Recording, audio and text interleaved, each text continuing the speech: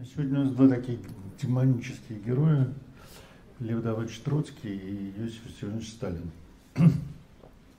Прямо сказать, люди неприятные, каждый по-своему, но достаточно любопытные.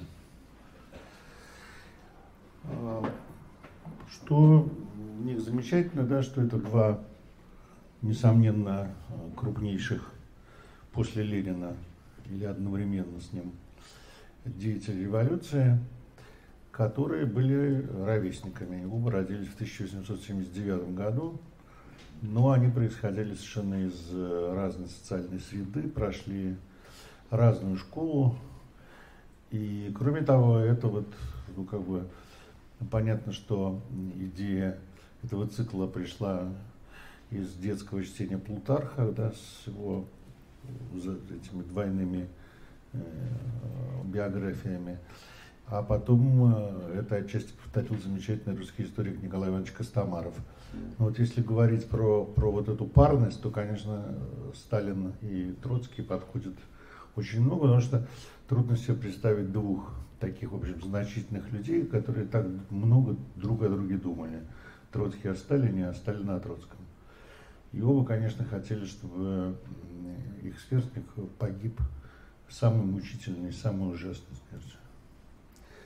Преуспел в этом один, но, собственно говоря, суд истории над ним тоже оказался довольно жестоким, и его конец тоже был не лучше, чем тот, который был у его соперника. Так что вот две такие трагические биографии. А. Начнем с Сионовича. А, Сталин человек, э, который такой тип в русской истории встречается в конце 19 начале 20 века. Есть такой американский историк Сэм Рамер, который сказал как-то, что Октябрьская революция – это революция фельдшеров.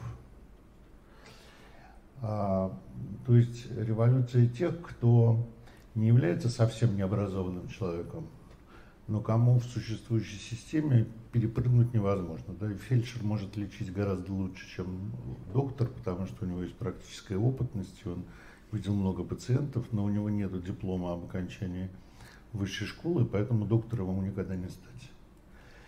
И вот эти люди, которые в формальной системе, какие-то прапорщики военного времени, народные учителя, ну, грубо говоря, как говорят в России, в Советском Союзе говорили, со средним, среднетехническим образованием, условно говоря, после техникума, у которых в кастовом обществе до 17 года не было никаких шансов, они эти шансы и получили э, в 17 году. Э, и я бы сказал, что есть два, две модели у ненавидевших этот, э, этот тип людей Михаила Афанасьевича Булгакова – один э, реалистический, а другой уже проникнутый такой натуральной классовой ненавистью. Реалистический это, конечно, «Белая гвардия», где он рассказывает, по-моему, я про это говорил, о сотнике Балбатуне, петлюровце, который должен захватить Киев. Вот ему, собственно, и сопротивляются братья Турбины, если вы помните Белую гвардию. Да? И вот он э, на Владимирской горке и он видит мать городов русских и понимает, что вот сейчас он ее возьмет. И это его звездный момент.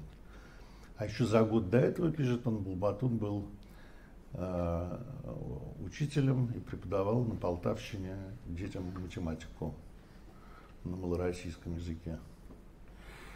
Но в груди у него спал Наполеон. И вот этот Наполеон проснулся благодаря тому, что случилось, и он берет Киев. Ну и как бы не издевался профессор Преображенский, живущий с того, что он вставляет яич, яичники обезьяны коммунистическим вождям, да, как бы он не издевался, значит, над э, э, Шариковым и Швондером, Шварик, Шариков и Швондер тоже в некотором смысле пародия на это, да. Ну, Шариков как-то уже совсем ужасен в смысле образования, но Швондер какие-то слова говорит. Неправильно, но говорит, да. Вот, э, грубо говоря, э, судьба Иосифа Виссарионовича, она как раз соответствует и происхождению, соответствует э, этой